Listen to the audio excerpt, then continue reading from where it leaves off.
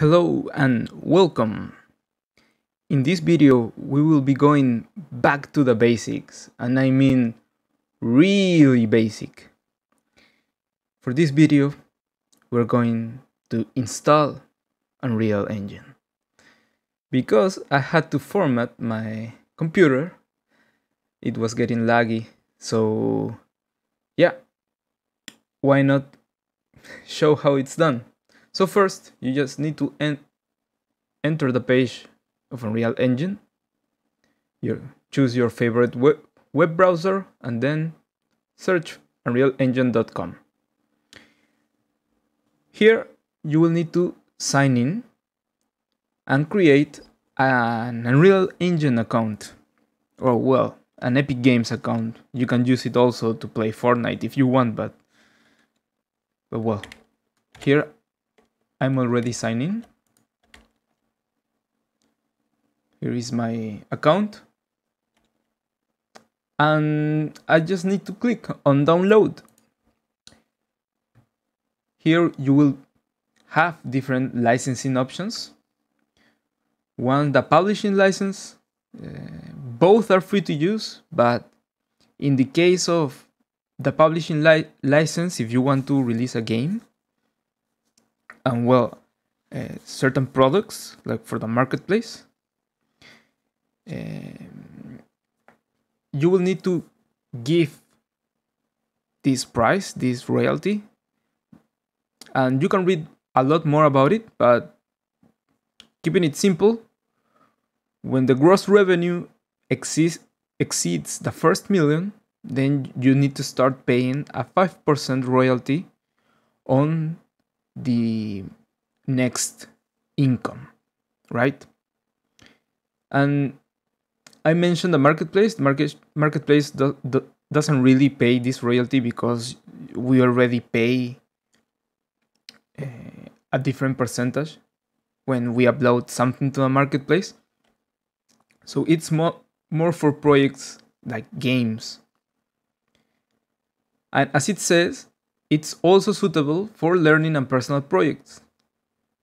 Because maybe you you develop a real simple game maybe in a game jam and then you decide to monetize it then uh, i would usually choose this if i'm working on games.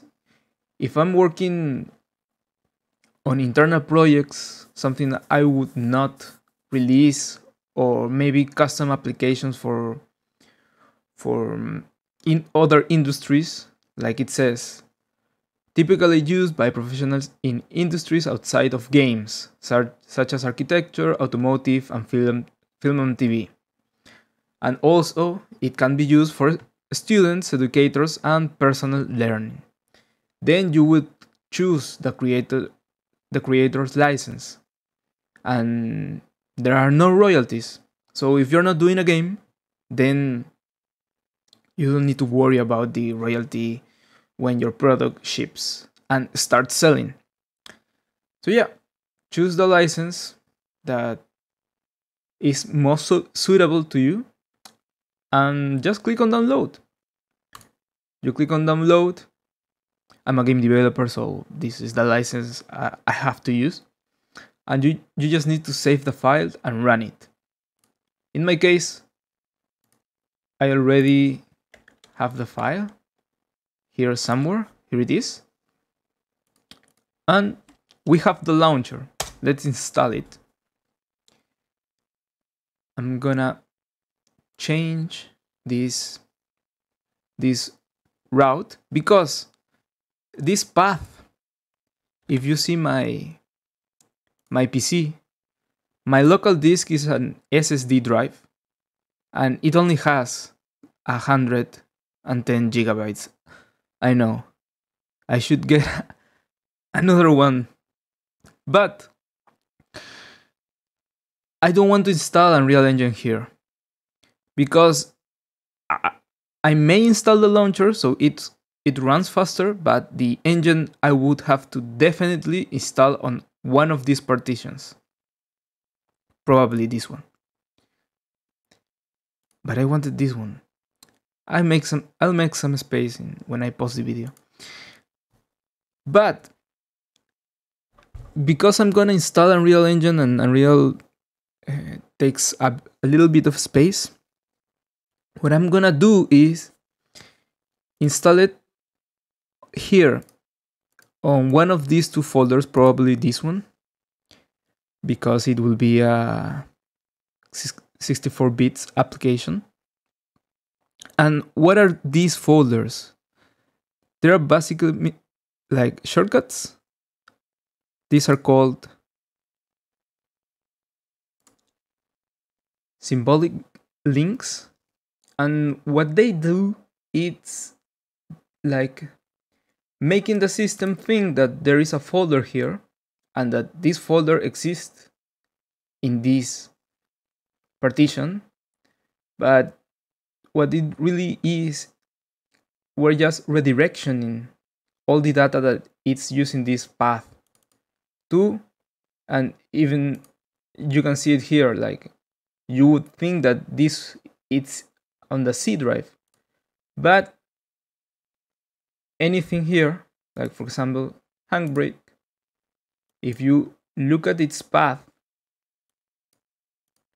the true path, can you see it here? I believe not. Well, the computer really thinks that this is here, but it's really on data, Q program files, and here it is. It's the same folder structure. So I'm making the the computer believe that this RB this has been stored on the C drive, but I don't want it there because I'm lacking some space. How do you create this stuff easily? Well, you can download a, a little program called Link Shell extension. And when you install it, it's a free, a free program by the way when you install it for example let's say i want this mm, let me check another drive yeah for example this folder called games i can right click it pick a link source and go to my c drive right click and drop as symbolic link a junction. I may make a smart copy or a smart mirror. There are a lot of things you can do with this program, but I use it mostly for the symbolic link because it's really easy to make. It will ask for permission and then it will do it. So now there is a path inside of C that when you put something here, it will go to the E drive, that it's entertainment. And you can see the game I have here. So that's a way that I can keep clear my SSD drive from heavy programs. Let uh, and to remove the symbolic link, you just delete it and there it is, done. So maybe if you if you think you have made made a mistake, then you can just delete the shortcut and it's done. So yeah, let's return to the installer. What I'm doing here is just putting a Q before it and I name it Q program file files because of this. So it's easier to edit. You can call it what you want, really.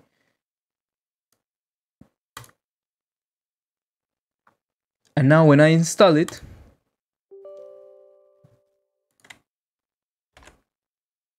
if you see the stats, I will not consume 79 any of these free giga gigabytes that I have here.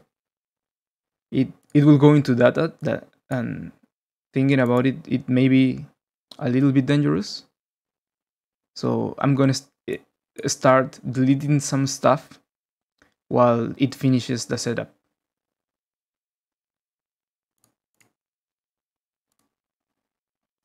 And now that the launcher has finished, well, launching, it will ask you to sign in to your Epic account. So I'll do that while some stuff is being deleted in the background. So we just sign in. I'm gonna pause the video here, sign in, and so I can keep my my account from being hacked. now we just need to uh, do this captcha.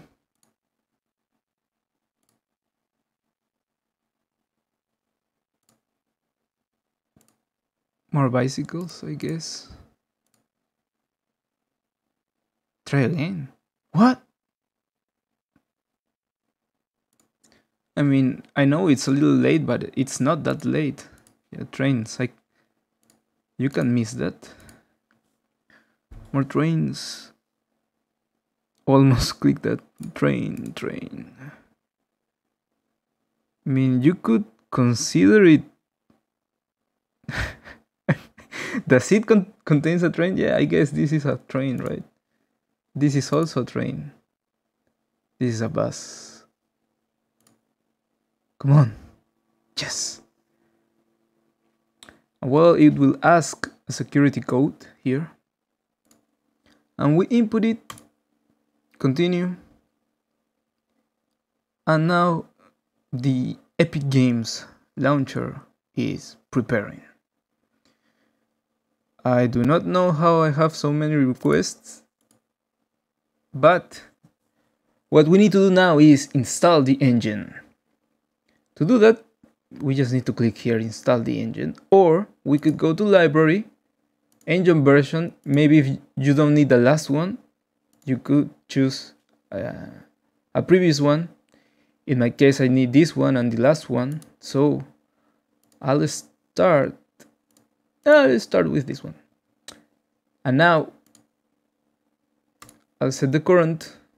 Uh, it won't matter now because I only have one vers version. So now we install it. And here it's asking us, where do we want to install it? Well, I know just the place. And we want to install it here for the same reason. I do not have a lot of space. Oh, nice. Folders too big? Yes, delete it. and yeah I wanted uh, a shortcut and this is fine we just need to click install and the waiting game begins this is going to download the engine then install it and then verify that every file it's okay and if every file is okay then we're good to go. There's only a little bit of of setting up that this is missing. But we will do it when what ah the yeah the deletion is not complete yet so I do not have so but this is a good example of how much space do you need. You need like 40 gigs. So yeah when this completes i'll resume and i'll see you when the engine is already installed. And now that the engine has finally finished downloading installing and verifying which took considerable amount of time we can finally use it we just need to launch it and I'll do just that. It will run some prerequisites if it's needed. And after that, it will show us the menu to create a project.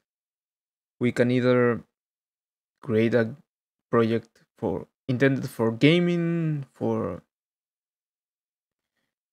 cinematic purposes, etc., etc. And also, there are a lot of templates that you can use to learn.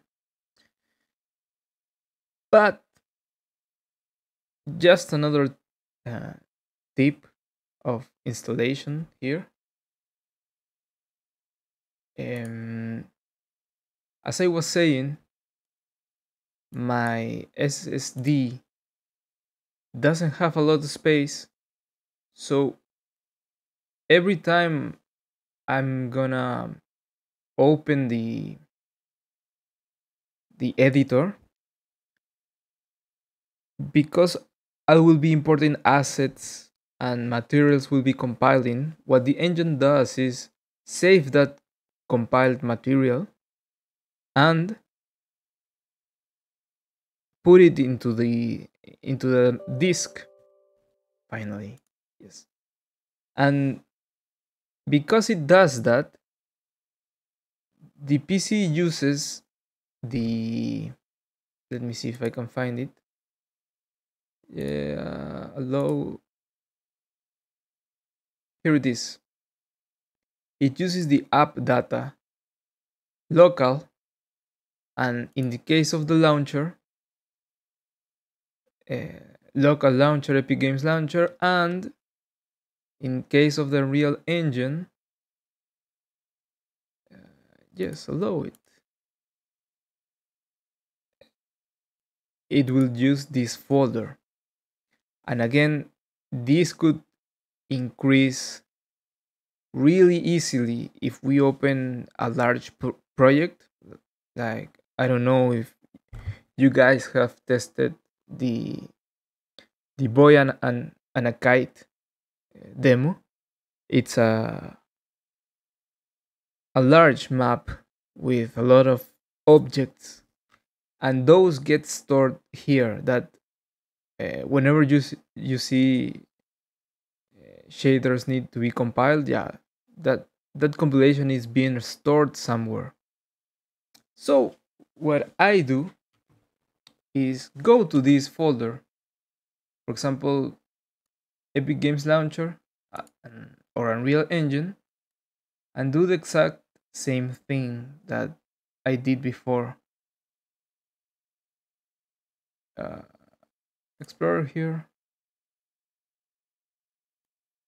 And I just right click and cut and paste it for example in me in my other partition maybe in data app data local unreal engine and paste it here.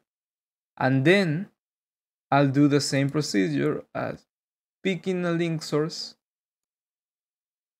and here in the app data folder that is usually hidden then I, I drop the the symbolic link here I won't do it be, right now because the engine is starting and it's probably going to store some things here and I can't copy and paste something that it's being in the same thing with the Epic Games Launcher. I will wait for the engine to, to launch, to close it, and then close also the launcher and do the same exact exact thing. Just copy the folder to another partition where there is more space and then drop a symbolic link here. And before I go, before this reaches 20 minutes. Here is the browser, the Unreal Project browser. As I said, you can choose a game, film, television, architecture, automotive, etc. If you choose game, there will be templates that you can check out. These templates are not the like written in stone that this is the way you do a first person game or a flying game. They are just a starter content to get get you help through get you through the first step of making a game. So yeah, that would be it. Hopefully you find this useful.